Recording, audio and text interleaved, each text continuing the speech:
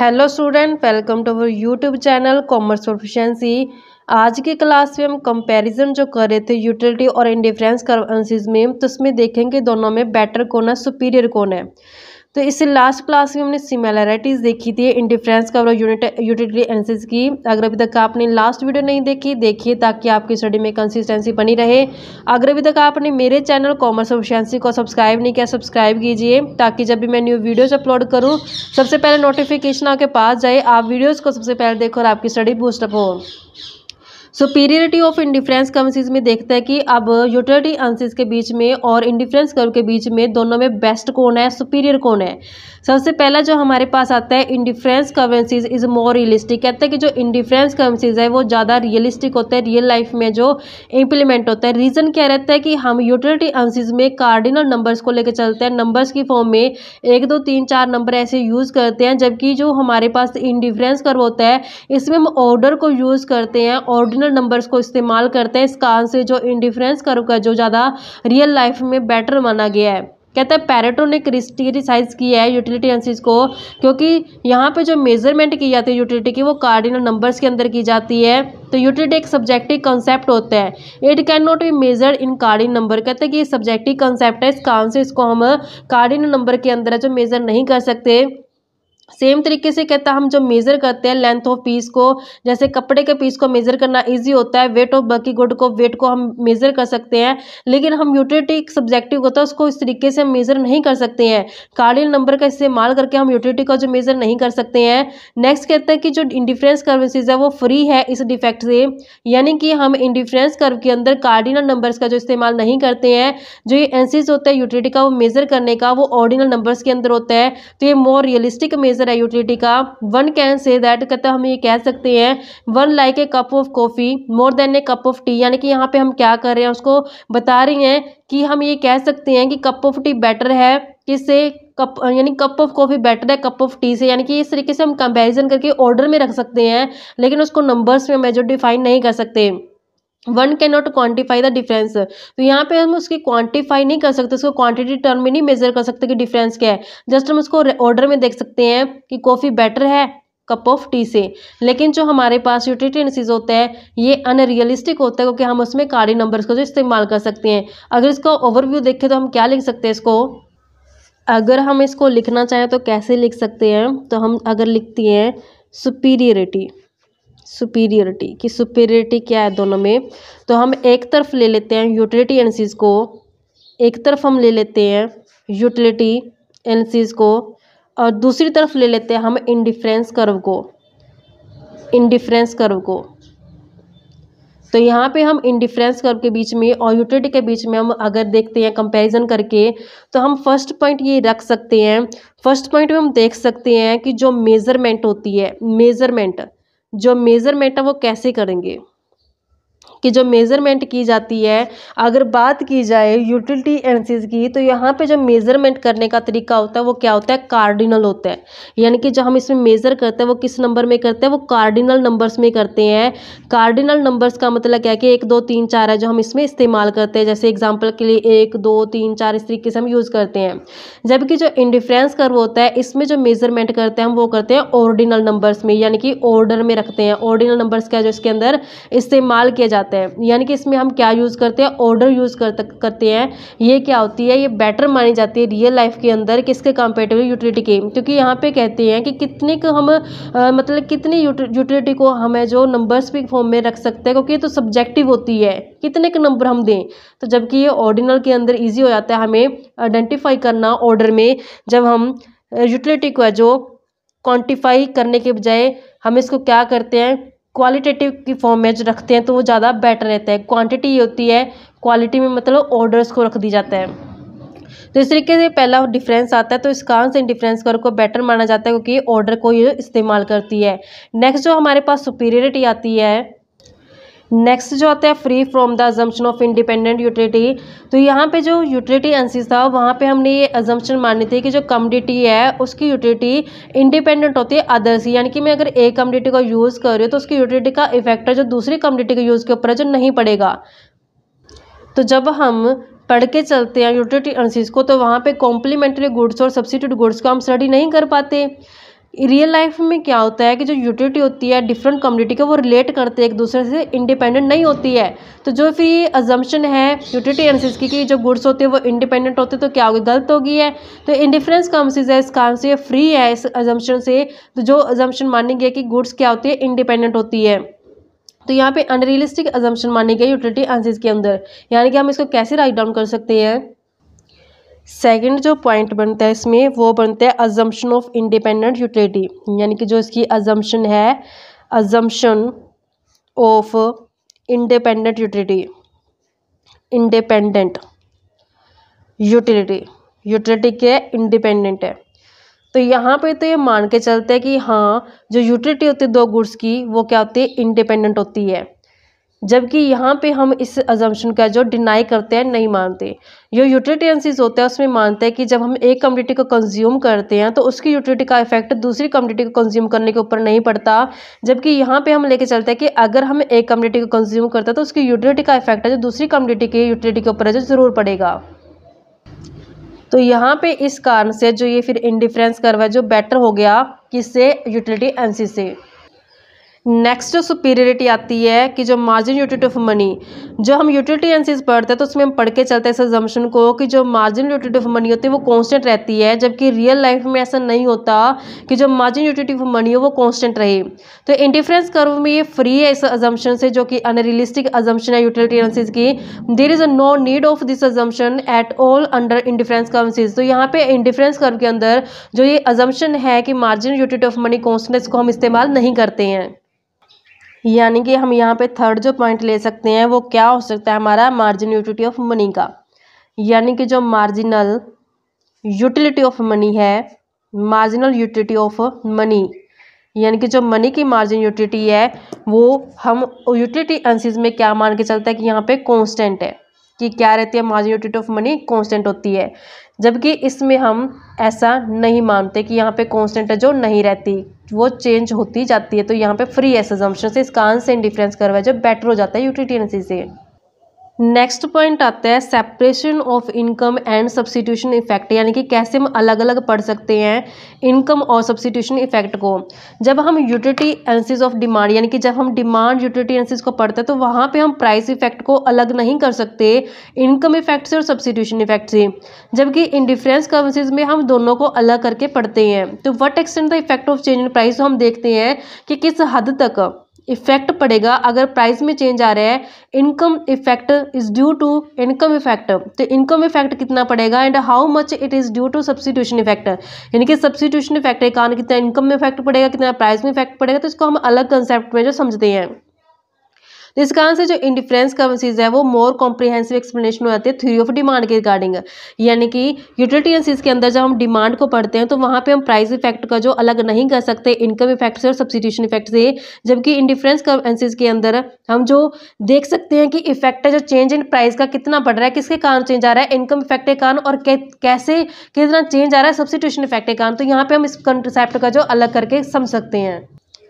Next आता है हमारे पास गिफन पैराडॉक्स गिफन पैराडॉक्स में क्या होता है? गिफन पैराडॉक्स ये उन इन्फीरियर घटिया गुड्स से रिलेटेड होते हैं, जिनकी डिमांड कम हो जाती है, जैसे इनका प्राइस कम हो जाता है। But when price of this goods increase जब इन गुड्स का प्राइस बढ़ जाता है तो इनकम है जो कंज्यूमर की, वो अनचेंज रहती है। तो उस केस में जो डिमांड होती है, वो भी क्या हो जाती है? बढ़ जाती है इस केस में। As such demand curve of given good slope क्या हो जाता है? अपवर्ड हो जाता है लेफ़्ट टू राइट की तरफ़ चला जाता है यानी कि पॉजिटिव स्लोप हो जाता है। जो यूटिलिटी एनालिसिस है वो फेल हो जाती है एक्सप्लेन करने में गिफन पैराडॉक्स को। गिफन पैराडॉक्स को अच्छे से एक्सप्लेन नहीं कर पाती है जो यूटिलिटी एनालिसिस होती है। जबकि अकॉर्डिंग टू इंडिफरेंस कर्व अगर इंडिफरेंस कर्व की बात की जाए due to change in the price of Giffen good अगर गुड गिफन गुड्स के प्राइस में चेंज आ रहा है तो negative income effect become more powerful तो यहाँ पे जो नेगेटिव इनकम फैक्ट है, वो ज़्यादा पावरफुल हो जाएगा किसके कंपेरेटिवली सब्सिट्यूशन इफ़ेक्ट के कंपेरेटिवली यानी कि सब्सिट्यूशन इफ़ेक्ट की बजाय जो इनकम इफ़ेक्ट है, वो ज़्यादा इफ़ेक्ट डालेगा किसके ऊपर? गिफन गुड्स के ऊपर. Has due to rise in price of this good कहता है कि अगर इन्फीरियर गुड्स के प्राइस बढ़ जाते हैं देर डिमांड ऑल्सो एक्सटेंड तो उनकी डिमांड क्या होती है? बढ़ जाती है। In this way in difference कर्वेंसीज है जो वो मोर एक्सटेंसिव और रियलिस्टिक है किसकी कंपेरेटिवली जो मार्शल की थ्योरी है डिमांड की, उससे कंपेरेटिवली गिफन पैराडॉक्स क्या होता है? इसको हम समझने की कोशिश करते हैं। गिफन पैराडॉक्स में हम लेके चलते हैं कि गिफन गुड्स वो होती हैं जो घटिया वस्तु होती हैं, जो सस्ते मिल जाती हैं हमें। गिफन गुड्स अब क्या होता है कि जैसे कंज्यूमर की जो इनकम है कंज्यूमर की इनकम के ऊपर कोई चेंज नहीं है तो ये कांस्टेंट है कंज्यूमर की इनकम मान लो कि जो गुड्स के जो प्राइजेज हैं गुड्स के जो प्राइजेज है वो क्या हो गए, बढ़ गए हैं. तो कंज्यूमर को ये खरीदनी महँगी लगेंगी. तो इस कारण से कंज्यूमर कहाँ शिफ्ट कर जाता है? गिफ्ट गुड्स के ऊपर शिफ्ट हो जाता है, क्योंकि उसको गिफ्ट गुड्स क्या मिलते हैं? सस्ते मिलती हैं. तो जैसे यहाँ पे प्राइजेज बढ़ जाते हैं तो कंज्यूमर क्या करता है? गिफ्ट गुड्स की डिमांड को क्या करता है? ज़्यादा करनी शुरू कर जाता है. तो इनकी डिमांड को क्या करता है? बढ़ा देता है. तो इसी कारण से फिर जो गिफिन गुड्स का स्लोप होता है, वो क्या चलना होता है? अपवर्ड जाना शुरू हो जाता है, बढ़ना शुरू हो जाता है। नेक्स्ट हम मान लेते हैं कि अगर प्राइजेज जो अदर गुड्स के वो कम हो गए हैं तो कंज्यूमर इनको आसानी से अफोर्ड कर सकते हैं। मान लो एग्ज़ाम्पल मैं आपको देती हूँ, डालडा घी ले लेते हैं। डालडा घी थोड़ा घटिया में आता है, देसी घी थोड़ा बढ़िया में आ जाता है। तो अगर मान लो कि देसी घी के रेट कम हो गए हैं तो कंज्यूमर क्या करेगा? इसको अफोर्ड कर सकता है? अब कंज्यूमर कर सकता है। तो इस कारण से फिर वो गिफन गुड्स को छोड़ देगा, जिससे गिफन गुड्स की डिमांड क्या हो जाएगी? कम हो जाएगी। और कंज्यूमर क्या करेगा? अदर गुड्स का, जो बढ़िया वाली गुड्स है, उसका जो अफोर्ड कर लेगा तो उसकी डिमांड क्या कर देगा? ज़्यादा कर देगा। तो यानी कि जब उसको दूसरी गुड्स हैं, जो बढ़िया वाली गुड्स को महँगी पड़ जाती हैं तो वो सस्ती की तरफ़ शिफ्ट हो जाता है, क्योंकि उसकी इनकम के अंदर चेंज नहीं आया। उसके पास इनकम क्या है? लिमिटेड है। तो वो उस केस में फिर क्या करे? कंज्यूमर घटिया वस्तु की ओर शिफ्ट कर जाता है, जिससे उसकी डिमांड बढ़ जाती है स्लोप अपवर्ड चला जाता है। अगर उसको बढ़िया वाली वस्तु जो होती है, उसको सस्ते रेट में मिल जाती है तो वो क्या करेगा? वो बढ़िया वाली वस्तु खरीद लेगा तो घटिया वाली गुड्स की क्या करते हैं डिमांड कम कर देगा। तो इस तरीके से फिर इसके स्लोप के ऊपर क्या होगा? इफ़ेक्ट पड़ेगा। तो यहाँ पे जो हमारा यूटिलिटी एजेंसीज होता है, ये इस कंसेप्ट को समझाने में नाकामयाब रहा है, जबकि इंडिफरेंस कर्वेस ने इसको बिल्कुल बढ़िया तरीके समझा दिया। कैसे समझाया? इसको हम दोबारा फिर एक्सप्लेनेशन को कवर करते हैं। कहते हैं कि जो गिफन पैराडॉक्स रिलेट करता है, उन इन्फीरियर उन घटिया गुड्स से रिलेट करता है, जिनकी डिमांड कम हो जाती है, जैसे प्राइसेस क्या होते हैं, कम होते हैं। जैसे कि मैंने आपको समझाया भी यहाँ पे, जैसे ही अदर गुड्स, यानी कि बढ़िया वाली गुड्स के प्राइस कम हो तो इनकी डिमांड भी क्या चुकी है, कम हो चुकी है। ऐसे ही जब प्राइस इन गुड्स के बढ़ जाते तो इनकम कंज्यूमर की वो रिमेन अनचेंज रहने के कारण तो इनकी डिमांड क्या रहती है, बढ़ जाती है फिर। जैसे कि हमने ये केस पढ़ा था कंज्यूमर ने क्या किया? इनकम कांस्टेंट थी तो महँगी गुड्स हो गई। जब उसके प्राइजेस तो उसने क्या किया? फिर सस्ती गुड्स खरीदनी शुरू कर दी। यानी गिफ्ट गुड्स की तरफ़ क्या हो चुका है? शिफ्ट हो चुका है। जैसे प्राइस बढ़े हैं, वैसे डिमांड क्या कर दी? गिफ्ट गुड्स की बढ़ा दी गई है। तो इस कारण से जो डिमांड कर है गिफन गुड्स की, उसका स्लोप क्या हो जाएगा? अपवर्ड चला जाएगा, यानी कि लेफ़्ट टू राइट चला जाएगा पॉजिटिव स्लोप हो जाएगा। जो यूटिलिटेरियन चीज़ है, कहते वो फेल होगा इस गिफन पैराडॉक्स को समझाने में। लेकिन जो हमारे पास इंडिफरेंस करवेंसीज है, वो बताता है हमें कि due to change in the price of gift goods कहता है कि अगर गिफ्ट गुड्स के प्राइस में चेंज आते हैं तो नेगेटिव इनकम इफ़ेक्ट है, वो ज़्यादा पावरफुल हो जाएगा किसके कारण? सब्सिट्यूशन इफ़ेक्ट है। यानी कि सब्सिट्यूट की कंपेरेटिवली जो नेगेटिव इनकम इफ़ेक्ट है, वो ज़्यादा इस, असर डालेगा इसके ऊपर। तो इस कारण से जो due to rise in price of this goods कहते हैं, अगर इन गुड्स के प्राइस बढ़ जाते हैं तो डिमांड जो क्या हो जाएगी, वो बढ़ जाएगी। इस तरीके से कहते हैं, जो इंडिफरेंस अंसीज है, वो ज़्यादा एक्सटेंसिव है, किसके कंपेरेटिवली जो पुरानी हमारी यूटिलिटी अंसीज है।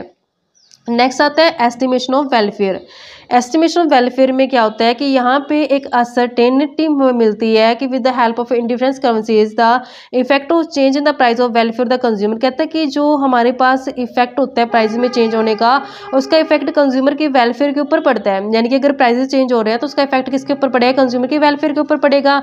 If if as a result of change in price the consumer move to highest indifference curve कहता है कि अगर प्राइजेस में चेंज आने के कारण जो इंडिफरेंस करवा मूव कर गया अपवर्ड की तरफ़ it would mean increase in his welfare तो मतलब उसका क्या है? वेलफेयर ज़्यादा हो रहा है। Change the in price can be converted into change in real income क्योंकि अगर प्राइस में चेंज आता है तो रियल इनकम में भी चेंज आ जाता है with the help of indifference curves अगर हम इसकी, किसकी कंसेप्ट में समझते हैं? इसको इंडिफरेंस कन्वेंसीज की कंसेप्ट में समझते हैं। On the basis of technique हैं इस टेक्निक के बेस पे जो Hicks has attempted to measure consumer surplus in more scientific way तो यहाँ पे कंज्यूमर सरप्लस है जो साइंटिफिक तरीके से समझ सकते हैं। यानी कि हमारे यहाँ पे कहने का मतलब क्या? ओवरऑल अगर देखा जाए एस्टिमेशन ऑफ़ वेलफेयर में क्या कहते हैं कि जितना हाईएस्ट इंडिफरेंस कर होता है, उतना ही सेटिस्फेक्शन लेवल क्या होता है? कंज्यूमर का हाई होता है। जब हम इंडिफरेंस कर बनाते हैं, इस तरीके से यहाँ पे दो गुड्स लेते हैं तो इस तरीके से इंडिफरेंस कर बनते हैं। तो जितना हाईएस्ट इंडिफरेंस कर्व होता है तो उतना ही क्या होता है, ये हाईएस्ट लेवल का जो शो करता है, यानी कि जितना आप बढ़ जाएगा, उतना ही कंज्यूमर का वेलफेयर क्या होगा, ज़्यादा शो करेगा ये। नेक्स्ट आते रियलिस्टिक फाउंडेशन की जो बेस होता है यूटिलिटी का बेस क्या है यूटिलिटी एनालिसिस का? बेस है law of diminishing marginal utility this law is based on many unrealistic assumption कहते हैं कि जो यूटिलिटी एनालिसिस को अगर समझते हैं तो उसका बेस रहता है डिमिनिशिंग मार्जिन यूटिलिटी तो जो ये डिमिनिशिंग मार्जिन यूटिलिटी होती है, इसकी कुछ अजम्पशन होती हैं जो कि अनरियलिस्टिक है रियल लाइफ में वो लागू होती नहीं है। सच एज जैसे कार्डिनल मेज़रमेंट करना यूटिलिटी को। Diminishing law of diminishing marginal utility based है कि जो यूटिलिटी मेजर की जाएगी वो कार्डिनल मेज़रमेंट होगी, यानी कि नंबर्स में उसको मेज़रमेंट कर सकते हैं यूटिलिटी को। The basis of indifference curves is law of diminishing marginal rate of substitution जबकि जब हम इंडिफरेंस कर को समझते हैं तो उसका जो बेस रहता है, वो क्या रहता है? Law of diminishing marginal rate of substitution रहता है which is based on more realistic set of assumption जो क्या है? थोड़ा रियलिस्टिक अजम्पन के ऊपर है जो बेस्ड होता है। यानी कि जो यूटिलिटी एनालिसिस होता है, ये बेस्ड है law of diminishing marginal utility के ऊपर, जिसकी जो अजम्पन क्या है? कार्डिनल यूटिलिटी को मेजर करना, जो कि गलत है रियल लाइफ में हम ऐसा नहीं कर सकते। जब हम पढ़ते हैं इंडिफरेंस करेंसीज को तो उसका जो बेस होता है, वो रहता है diminishing marginal rate of substitution जो कि रियल लाइफ में जो पाया भी जाता है। In short indifference curves is more realistic रहता है। इस, अगर शॉर्ट में बात की जाए तो इन डिफरेंस कब ज़्यादा रियलिस्टिक रहता है और ये इम्प्रूवड एंसिस है किसके कंपेटिवली यूटिलिटी एंसिस के कंपेटिवली अगर हम इसका ओवरव्यू लें तो ओवरव्यू में हम समझ सकते हैं कि सुपीरियर कैसे है इन डिफरेंस का यूटिलिटी एंसिस के कंपेरेटिवली जब हम मेज़रमेंट करते हैं यूटिलिटी एनालिसिस में कार्डिनल नंबर्स का इस्तेमाल करते हैं वन टू थ्री जबकि हम इंडिफरेंस कर्व के अंदर ऑर्डिनल नंबर जिसमें हम रैंक होता है, इसका इस्तेमाल करके चलते हैं। जो अजम्पन रहती है इंडिपेंडेंट यूटिलिटी तो यहाँ पे कार्डिनल यानी कि जो हम यूटिलिटी एनालिसिस में मानते हैं कि जो यूटिलिटी होती है, वो इंडिपेंडेंट होते हैं, एक कम्युनिटी की दूसरी कम्युनिटी से। जबकि इंडिफरेंस कर्व के अंदर हम मानते हैं कि जो यूटिलिटी होती है वन कम्युनिटी की वो डिपेंड करती है दूसरी दूसरी कम्युनिटी की यूटिलिटी के ऊपर। पर। नेक्स्ट जो रहते है मार्जिन यूटिलिटी ऑफ़ मनी तो यहाँ पे हम यूटिलिटी एनालिसिस के अंदर मानते हैं कि कॉन्स्टेंट रहते हैं कि मार्जिन यूटिलिटी ऑफ़ मनी में कोई चेंज नहीं आता, जबकि इंडिफरेंस कर्व के अंदर मानते हैं हम कि यहाँ पे इंडिफरेंस कर्व के अंदर जो मार्जिन यूटिलिटी ऑफ़ मनी होते हैं वो कॉन्स्टेंट नहीं रहती है। नेक्स्ट कहता है कि it does not segregate price effect into income effect and substitution effect तो जब हम यूटिलिटी एनालिसिस पढ़ते हैं तो वहाँ पे हम प्राइस इफ़ेक्ट को अलग नहीं कर सकते इनकम इफ़ेक्ट से और सब्सिट्यूशन इफ़ेक्ट से, जबकि हम इंडिफरेंस कर्व में हम इसको सेग्रीगेट कर सकते हैं इनकम इफ़ेक्ट और सब्सिट्यूशन इफ़ेक्ट को। ये जो हमारे पास यूटिलिटी एनालिसिस है, ये फेल हो जाता है गिफन गुड्स के केस को समझाने के लिए।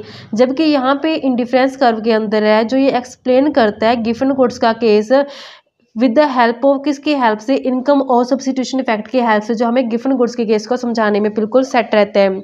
इस तरीके से बच्चों, हम कंपेरेटिव करने से ये जान गई हैं कि जो इंडिफरेंस कर्व है, वो यूटिलिटी एनालिसिस के कंपेरेटिवली ज़्यादा बढ़िया है, क्योंकि ये थोड़ा रियलिस्टिक माना गया है। तो इस तरीके से हमने इंडिफरेंस कर्व का जो सुपीरियर बोला है।